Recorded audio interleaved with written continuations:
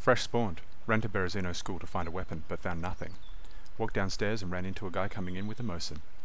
We chatted for a while, wiggled a bit, then I axed him in the face. Turns out he had no ammo and neither did I. Found a Gid guy two minutes later just a little bit north, got the drop on him and held him up at gunpoint with an empty rifle. Took his weapons and then told him about my fib.